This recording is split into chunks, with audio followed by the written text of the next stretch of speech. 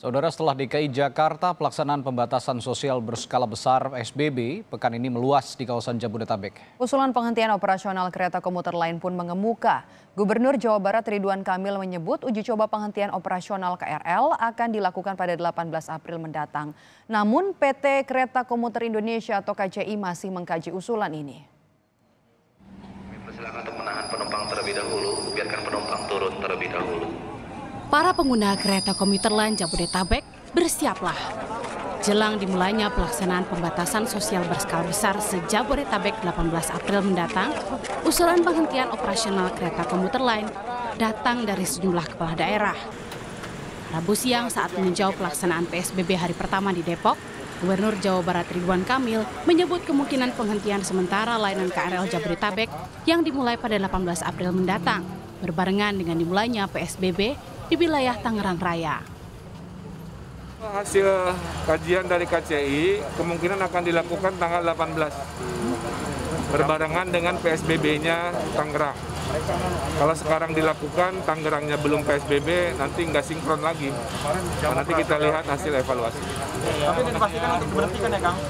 Apa pengurangan Bukan dari saya, dari dari KCI-nya. Dari KCI. Rencananya pengurangan jadwal atau memang dihentikan? Pengurangan perjalanan atau dihentikan? Dari KCI akan dieksperimenkan untuk dihentikan. Sebelumnya, usulan serupa juga datang dari lima kepala daerah Bogor, Depok, dan Bekasi demi menekan penyebaran COVID-19. Uh, karena kemarin dikoordinir oleh Wakil Wali Kota Bogor, maka kita bikin surat lima daerah ini kepada Pak Gubernur. Pak Gubernur nanti bikin surat kepada Menteri Perhubungan karena di situ ada overlap ya uh, berkenan dengan keputusan Menteri Perhubungan dan juga ke Gubernur DKI. Pak sejauh ini respon dari KCI sendiri apa Pak kemarin hasil? KCI sih sudah ikutin apa yang daerah mau ya. Meski demikian, PT Kereta Komuter Indonesia KCI masih mengkaji usulan para kepala daerah Jabodetabek soal penghentian sementara operasional KRL dalam masa PSBB. Kami menunggu ininya ya, menunggu bagaimana nanti aturan-aturan teknisnya. Sehingga kalau saat ini kami masih melakukan sosialisasi hari per hari adalah e, mengenai jadwal yang berlaku selama masa PSBB ini, masa PSBB yang sudah berlaku e, terutama sejak DKI Jakarta menerapkan e, memperlakukan PSBB di wilayahnya.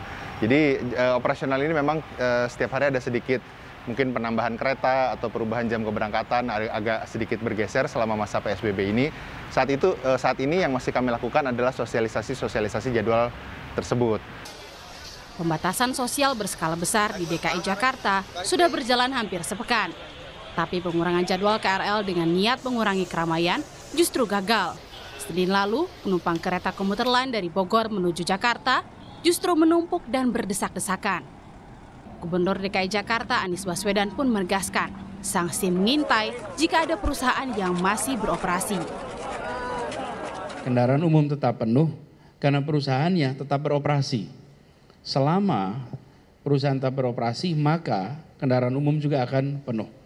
Dan kita pastikan bahwa semua yang tidak tertib akan mendapatkan sanksi mulai dari pencabutan perizinan sampai dengan sanksi-sanksi e, lainnya. Saya perlu tegaskan di sini karena ini adalah soal melindungi seluruh warga, melindungi masyarakat kita. Ini bukan kepentingan pemerintah, ini bukan kepentingan swasta, ini kepentingan setiap warga negara. Pengamat transportasi Ellen Tangkudung menilai penghentian operasional KRL justru akan menimbulkan masalah baru. Pasalnya, selama pemberlakuan PSBB, masih ada delapan sektor yang beroperasi dan membutuhkan transportasi publik.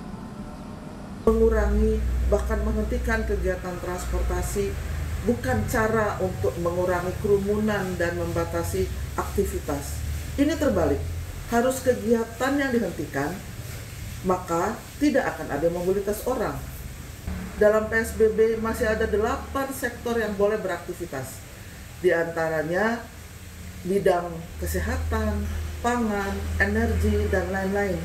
Jadi pegawai rumah sakit, pegawai pabrik yang memproduksi alat-alat kesehatan, pegawai PLN yang memproduksi listrik, pegawai distribusi pangan dan logistik utama, dan lain-lain masih boleh bertransportasi, masih perlu bertransportasi.